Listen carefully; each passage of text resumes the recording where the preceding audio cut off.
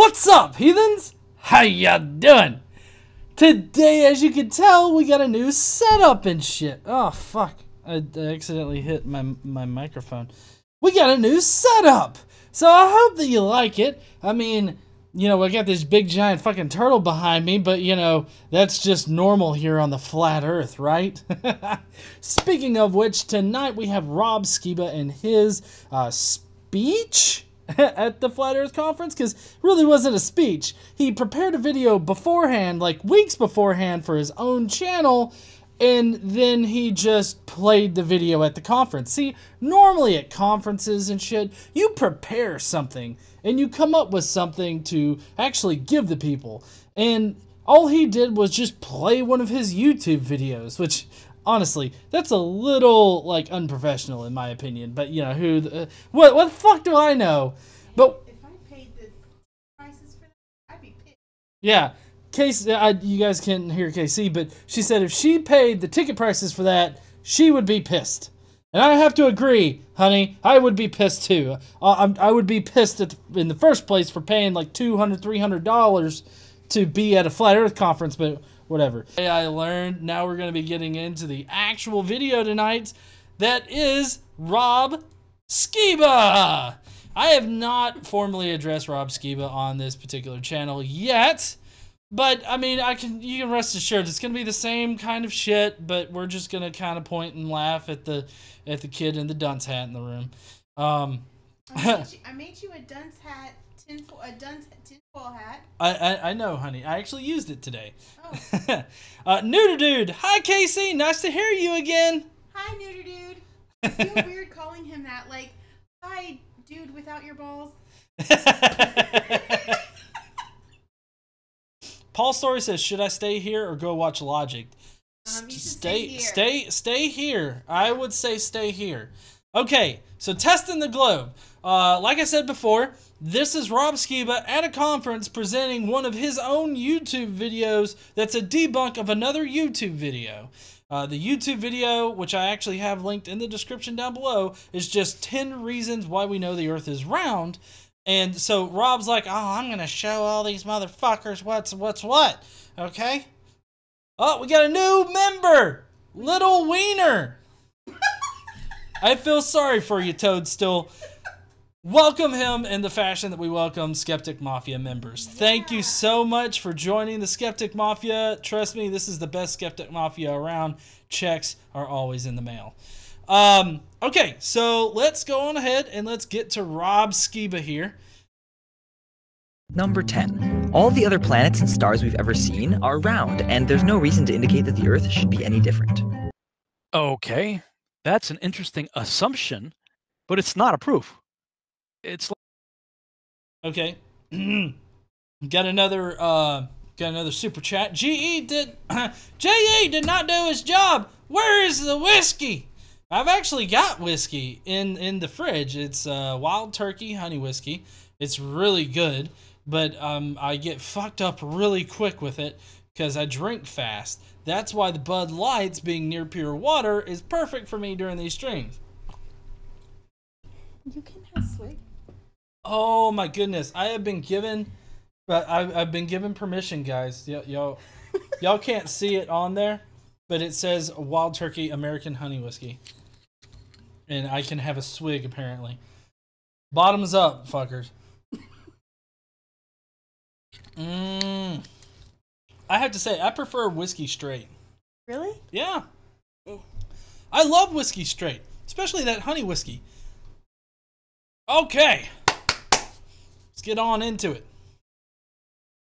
like looking at a pool table and saying, wow, all the billiard balls are spherical. Well, that means the table must be too. Um, actually, this is totally incorrect. I mean, he want this is a uh, uh, a this is an equivalence fallacy. Basically, he's trying to say that the pool balls are the same as the pool table. So saying that all the pool balls are are ra- are spherical, that means that the pool table should be spherical. But in actuality, it would be a lot like having a flat uh, or or one pool ball and saying, well, all the other pool balls are spherical. That must mean the one that we don't have is also spherical. This is a totally legit, rational way to reason into it. Okay, so he's he's this is fallacious that he's putting off here. Of course, the other planets that are are orbiting our sun would give us an indication as to what uh, the shape of our Earth is, because there's like like that's just not how nature works. Nature's not going to do something special for one set of things and then in another subset of the same things do something else. Like that's just not how nature works. Nature is uniform. So he's he's wrong. Oh, uh, my sorry, Mike MC. Huh? Starts with Metro. Right. Mike MC, Netro dude, do do da do, baby Sha. Sorry, I probably I needed to sing that in the wrong way so that I didn't get flagged. That's that's why that was sung in such a weird fucking way. I, I don't think they believe you. Pro- probably not. Or looking up and seeing the lights overhead. Oh, the light bulbs are spherical. Therefore, the table must be too. No, it would be like, oh, hey, look, this set of light bulbs is spherical, and it, you know, the one that we cannot see, or you've hidden one, what shape is it? Oh, well, most likely it's going to be spherical. There's no way that it's going to be square, flat, or any other fucking way, uh, unless it's one of those, I guess, modern art pieces. But at the same time, I mean, this is a perfectly legit uh, uh, way to reason towards a spherical Earth. No, that's not a proof of anything. Number 9. Time zones. Day and night happen at different times at different places on Earth. In fact, it's always day somewhere and night somewhere else. Okay, Okay, so before he gets into it, I wanted to actually elaborate a little bit on time zones. Did you know, honey, Yes, what? that time zones originally didn't exist? I did know that. Yeah. Do you know what caused the invention of time zones? I do. What was that? Um, something to do with farming and um electricity.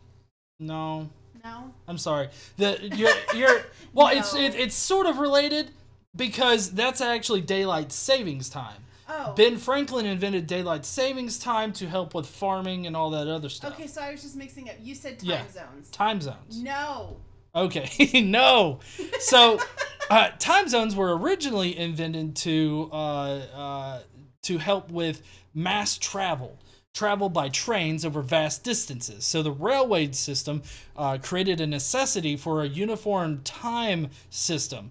And a Canadian actually invented the time zones as a way to uniformly set time in, you know, all locations so that they're reflective of, uh, you know, what like where you're at in the world and and you know what basically time of day it is. Before that, you had local time zones. Like in one city you had one time, and then in another city you had another time. So basically, um, uh, you would have like this profession of clock setters and like the local um, uh, clock uh, the local uh, clockwork guy i can't remember what they're called right now but the local clockwork guy would actually be the guy that would have the official town timepiece and it would set it to that The local clockwork guy is called the TikToker. the, t- the tiktoker is the local term. That's the technical term the local thank you honey for looking that up I, I didn't. I just made it up. Oh, you just made it up? Yeah. Okay. See how easy it is? Yeah. Um, and so the time zones were originally divided up because there's a 24 hour day, and they knew that the Earth rotated at 15 degrees per hour, uh, even then. And so what they did was they divided up the world into 24 different time zones because in an hour's time, 15 degrees would pass. The, you know, the Earth rotates at 15 degrees per hour. Um, so yeah, that that's a little bit of information. I do actually have a much better link down in the description if you want to learn more about it. Uh, so just keep that in mind when he's going through these time zones. Sean Hawkins says that the local timekeeper's name is Biggest Tickus. Biggest tickus. you gonna go to the biggest tickets in order to get that timepiece set? Yep. Well, I guess I have to, unless you got a, a standard timepiece with you. Well, fuck, for five dollars I do. that, was a real thing. You actually had people that were like traveling time setters, and they would have an official uh, uh, clock set to an official time, and he would he would pay like you would pay him for the service of setting your clock to wherever the fuck you got to. And oh, they originally set their timepieces to noon. Like, um, you know, they would calibrate their times to whenever the sun was directly overhead because that was noon. So there you go. Today Island. time zones. I think part of the problem is people who come from the spinning heliocentric globular Earth model. As soon as they hear flat, they just try to squish the Earth into a pancake and keep everything else the way it is in the heliocentric globular Earth model. Actually, we do this because it matches our observations. Whenever we look through telescopes and we see the planets in the telescopes, it all uh, it, it also matches, you know, what we get back from satellites and uh, um, uh, probes that we send out into the universe. So, I mean, it, it's not because of that. It's because it matches what we actually see in reality. Meaning, okay, now you just got this flat disk inside a solar system. And they try to apply the dynamics of the solar system and a in a massively huge sun 93 million miles away, you know, over a flat earth and apply what they know in that paradigm to this paradigm. Well, that doesn't work. If we're on a circular still flat earth set on pillars under a dome within which the sun, moon, and stars are placed on day four, according to the Bible, then the sun and moon are what's moving and the stars are what mo- are, are moving, not the earth, and therefore they are a lot closer and a lot smaller. So basically, what he's showing here is Yahweh's terrarium, which is apparently what he thinks it is, and he only cites the Bible. And this is basically an appeal to tradition or an appeal to myth or something like that. I mean, call it what you will. He's using old ass information in order to inform himself on his worldview. And he's neglecting the new information that we have. Like all of the information that we've gleaned from all of astronomy and science since the Bible was written, which, I mean, granted, astronomy science didn't really exist for a long time, um, you know, after the Bible was written. But um, the the fact that we've gained new information and they just reject that verifiable new information should immediately send off like warning bells and shit. So I created this animation. You guys have probably seen this. A lot of people have used it in their videos and stuff like that. It got mirrored. Now, I stated right from the start this was not meant to be to scale. This one's a little better. Uh, I still think the sun may be a little bit too big, but you, see the sun going over the equator here at an altitude of approximately 3,000 miles. Mike MC, my wife is a theist and mad because I'm sending money. Ha ha ha. Damn, Mike, I don't want to get you in trouble, man. I mean, ugh. Does she give money to the church? If Well- she gives money to the church, you can give money to whatever the fuck. Are you want. comparing me to the church? No, I was talking to Mike. I know, I know you were. I don't know if she gives money to the church, but I mean, you could, you could, if you want to fight, you could bring that up. but hey, you know what? Like a church, we do do good shit here. We support charities. We give to, we give back to our community. Do do. Do do do do do do do do just like this flat earth map. it's shit. This flat earth map is shit. For one thing, he thinks that this little pinball thingy floating 3,000 miles up in the air is representative of a sun. For one thing, I would love to know what this motherfucker is made out of. For another thing, I would love to know what makes this motherfucker go round and round. round and round. And he can't give me those answers. He's just like, I don't know. I just know that it does that shit, okay? Like, that's what he says. Uh, but you can't just make these baseless assertions without anything to support them. It's like, I know enough to know that the scientific consensus is wrong, but I don't know enough to explain why it's wrong. Other than, well, shit. Just look up at the sun, will you? Don't actually look at the sun. You can tell that it's rotating in the sky above us. Um, another thing is is that sunsets do not work on this particular model whatsoever. Sunsets are so pretty. Sunsets are pretty, honey, uh, but they won't work on this particular model. The sun would never set on this particular model. It would just go out in the distance. But also, he's going to admit something right here that should clue you in as to how bullshit this particular model is. Uh, according to this scale right here. And a lot of people will say, well, you know, what is the sun acting like a spotlight? No. So uh, obviously spotlight. Hold on, sorry. Uh, Arduin six six six because God. um, let's see. JC, uh, uh, a fellow skeptic mafia member, said, "Godless engineer, I know what this uh, uh, the this Flurf sun is made of. God spunk super glow stick edition." and then we got Ves Bakalov. Bak- Bakalov, the Bible was written by the Rob Skibas of that age. They were ignorant of the science uh, that was already developed.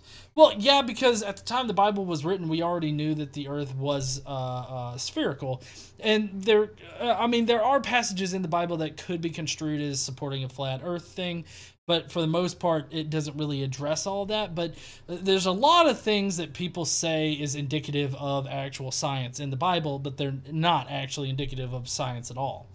Vess's name makes me want baklava. You Ve- know that um that. Oh, God. baklava? well, yeah, that's just because we heard it on Jeopardy recently. No, I mean it's Christmas. I had some recently. Oh, okay. Oh, you had you had some at work. Okay. Somebody brought some in, so I had a little triangle. It was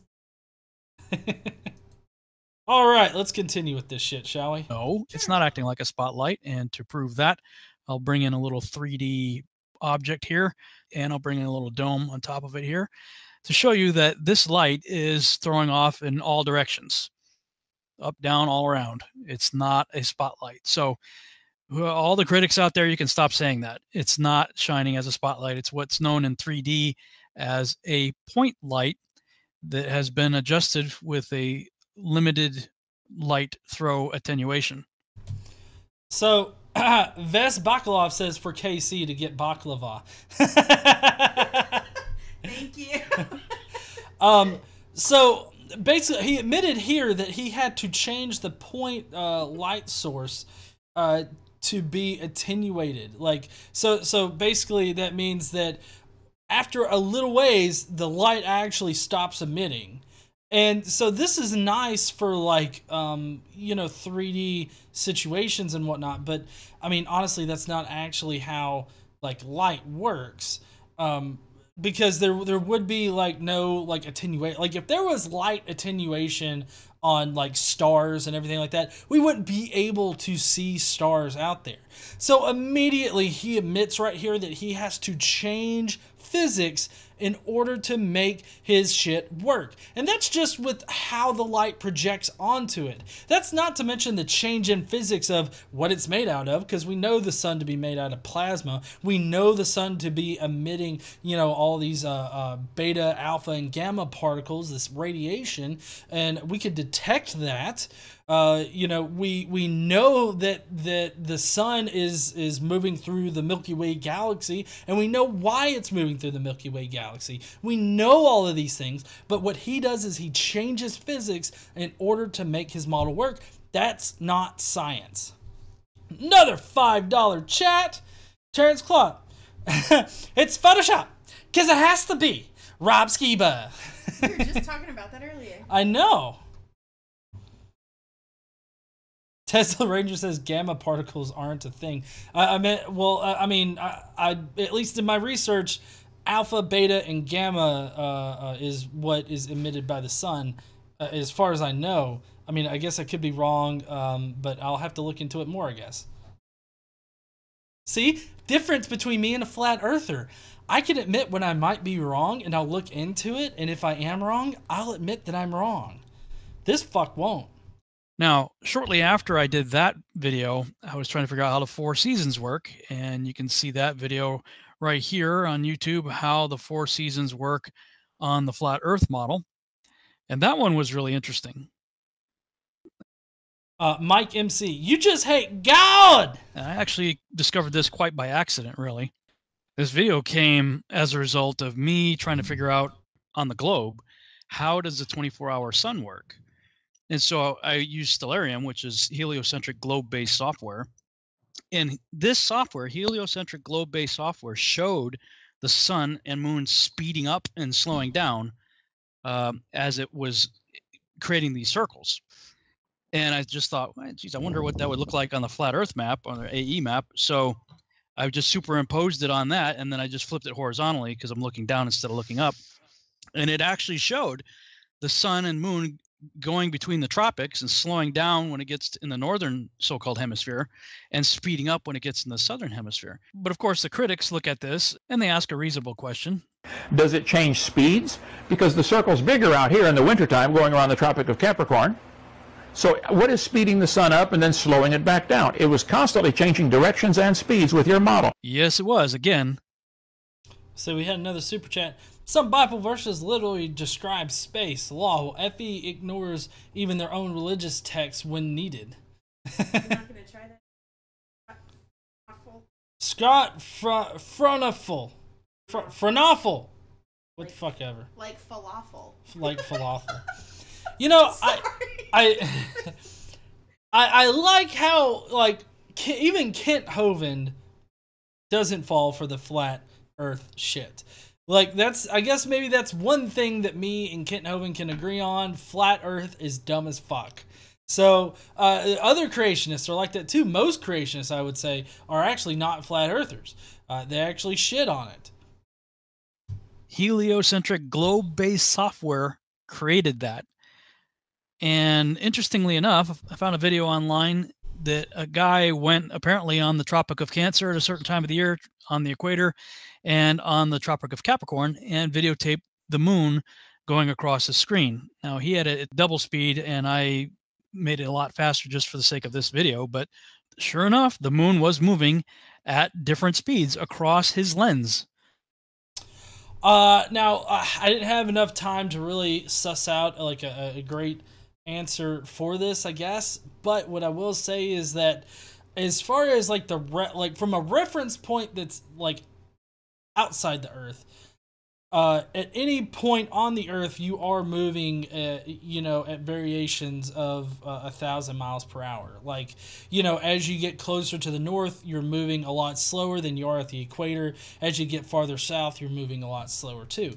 Um, uh, or, or maybe it's a lot faster. Yeah, sorry, you move faster. I got that backwards. Sorry, let me do that again. so as you go north and south from the equator, you actually get faster because it's it's getting closer to like I guess the center. Like if you're looking down on it uh, from like a, uh, uh, 2D perspective, you're getting closer to the center, so you'd be moving faster. Um, which uh, let's see.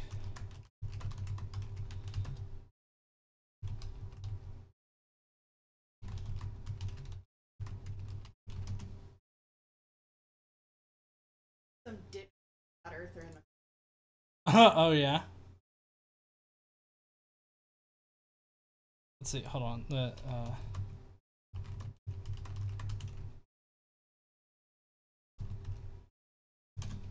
now the Earth rotates at zero point zero zero seven or something like that rotations per minute. Um.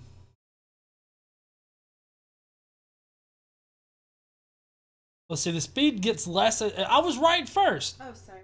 The speed gets less as you move north, but it's still a good clip throughout the United States because gravity holds us tight, everything like that. Yeah. So, uh, sorry, I'm getting I'm getting this. I was right first.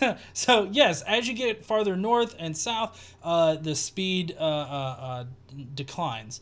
Um, uh, like if if you're actually measuring in miles per hour and the reference point is like not on the Earth. On the Earth, it's moving very slow because of the rotations per minute. So it's no surprise to me that you would capture these different things. But then again, I don't know what the situation is with these particular photo captures. Um, so uh, I'm gonna I'm gonna have to edit this up in post because I fucking fucking screwed that up. fastest over the Tropic of Capricorn, medium over the equator, and slowest over the Tropic of Cancer.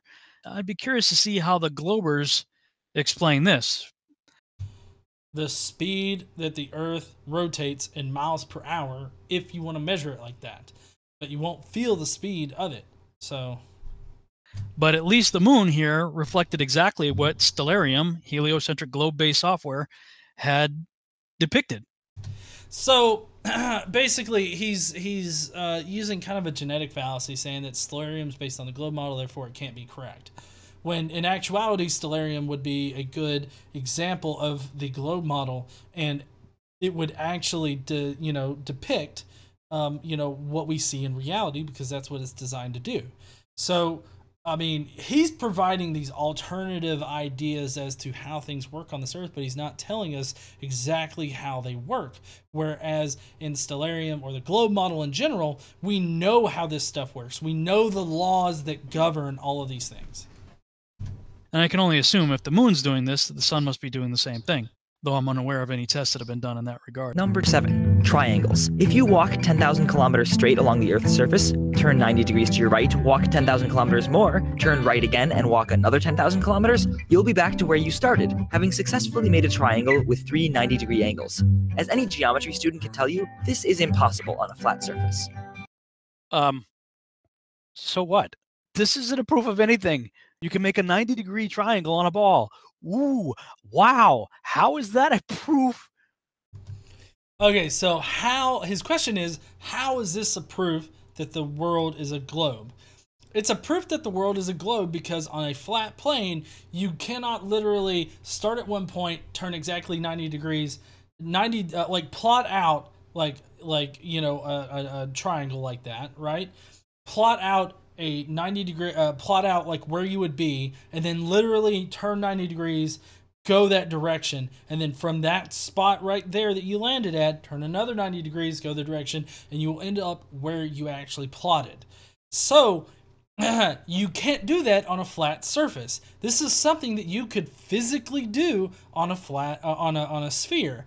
You can plot this out. So yeah that that's why it's a proof and I get that he's just sort of shucking it aside, but this is how flat earthers work. They shuck aside or, or, they shuck all information that contradicts their own model, and they don't want to actually uh, uh, address it. And there's no way that he can address it. He there's no way that he can explain why you can physically do that on the Earth. Mike MC, aliens equals pyramid S. Pyramids. Oh, sorry. aliens equals pyramids. I have to say, I wonder if Mike is wanting to piss off his fucking wife right now. I could just see her over in the corner, like, you still donating to that atheist son bitch? And Mike's just like, fuck yeah, I am. I don't know if you drink, Mike, but I mean, I that's how it works out in my head. Tell your wife I'm sorry. that the Earth's a globe. That's ridiculous. And guess what? I can draw a perfect circle inside a triangle. That means the Earth's a pyramid. No, that's not at all. That's I don't like this is such a non sequitur. I don't even know what to say to this because it's so fucking ridiculous. Rob, why are you doing this? This is hurting me right now. This is a proof. Did he? I wonder if he just face palmed with his mic. It's, that's what it sounded like. He just headbutted his mic, like, boom. This is proof. Fuck this shit. Boom, boom. All he proved is that you could draw a 90 degree triangle on a ball. Yeah, but you see, the point is, is that you can physically do it, like here in the real world. You can physically do that shit. Wow. Number 6. The sun, in general, gets lower and lower in the sky as you travel away from the equator, and you can use this to directly measure the Earth's curvature. Pick two places a few hundred miles directly north and south of each other, and at noon, measure the shadows cast by a vertical meter stick at each location. You can use the shadow lengths to figure out the angle between the sticks, and once you add in how far apart they are, you can calculate the Earth's curvature. Okay. Fuck. Ooh, I am God. You you should not be watching this because the earth is flat and you are in my terrarium. Ooh. Oh, so, sorry. yeah, I, I know that's that's one of my voices. Is I can do the CC voice pretty well. Creationist cat, not conspiracy cats. Um, shit, I gotta find my video. There's my video. Okay. This is basically a repackaged version of the Eratosthenes experiment, where if you assume you have a distant stationary sun,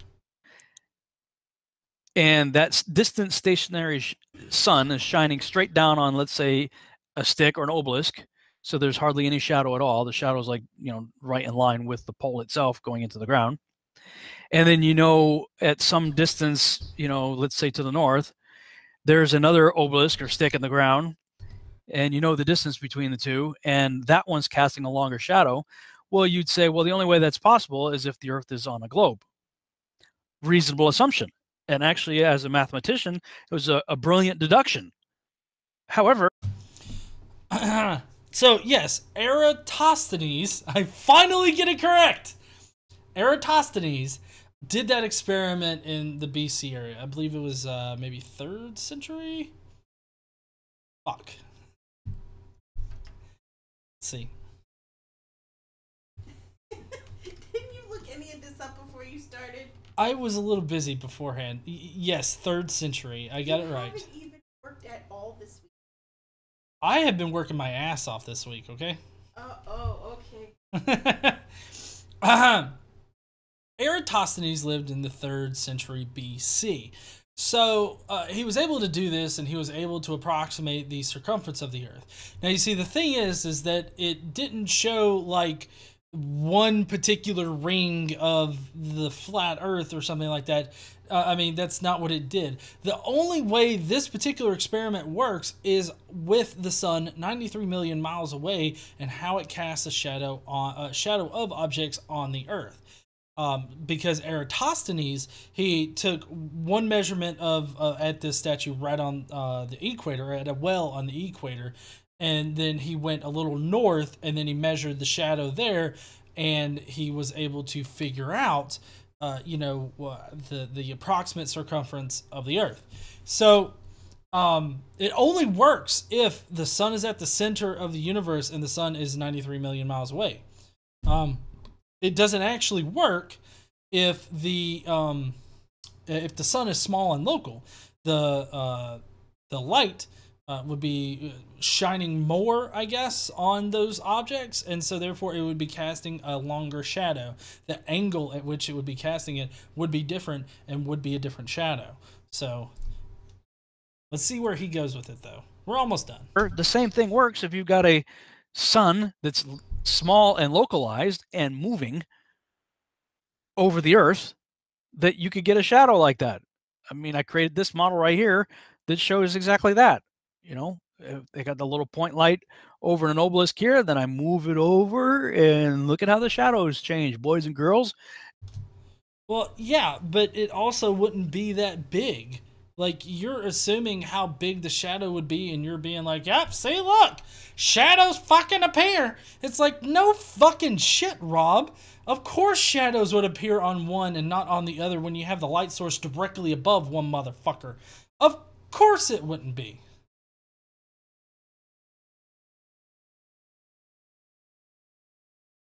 it doesn't require the earth to be a globe Oh shit, that was actually it. It doesn't require the Earth to be a globe. Um, I would I would actually disagree. I would say that it does require the Earth to be a globe, uh, because of the way that Eratosthenes actually measured it. He measured it going north to south, and so that meant that it was cur like it's curved all around, but he was measuring it in a way that showed that it was a globe, because it is a globe. Fucking dipshits. Well, heathens, that's going to be it for the video tonight. If you are watching on the replay or you're leaving right now, I appreciate you watching my videos. If you wouldn't mind, share this motherfucker out because it would help me out a lot. I'm trying to get to 40k, and then next year I have a certain set of resolutions that I'm going to try to fulfill on the channel that I'm going to be talking about soon. But uh, it would really help me if you shared this out, you liked it, you left a comment, and all that kind of good shit. Uh, we're going to be going into comments now, but if you're leaving, I hope you guys have a great night. Don't forget to stand up and use your voice.